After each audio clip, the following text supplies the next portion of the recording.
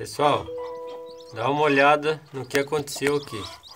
Essa galinha que estava chocando alguns ovos, ovos de garnizé, aí tinha ovos é, marrons e ovos azuis.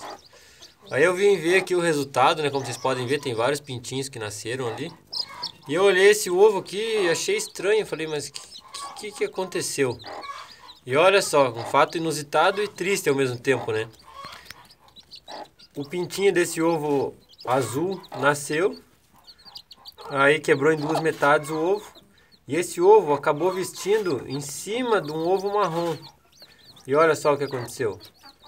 Ele vestiu aqui em cima do ovo marrom. Esse pintinho do ovo marrom, ele tinha feito todo o trabalho dele, ó, ele tinha quebrado tudo. Quebrado toda a casca do ovo aqui ao redor. Era só agora ele empurrar, né, a tampinha e nascer. Mas, infelizmente, esse ovo azul acabou encaixando aqui em cima. Travou essa tampinha aqui do ovo, do ovo marrom. E o pintinho acabou morrendo aqui dentro porque provavelmente ficou muito tempo ali fechado, se esforçou muito.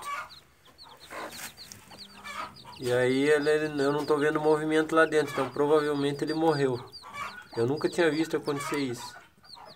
Deixa eu tentar abrir aqui. É, se ele tivesse vivo, provavelmente ele ia estar se mexendo, ó. Vocês podem ver aqui, ó, o biquinho dele. Ó, aqui o biquinho dele, ó. É, ele tá durinho, ele morreu. Ele fez todo o trabalho dele, ó, de cortar aqui em volta. Na hora dele nascer, esse ovo deve ter encaixado em cima e ele morreu. São coisas que acontecem, eu nunca tinha visto acontecer isso. Uma coincidência de encaixar certinho aqui também e tal. Mas fazer o que? O que importa é que os outros ali estão tão saudáveis, estão espertinhos. E é isso aí, pessoal. Um grande abraço a todos.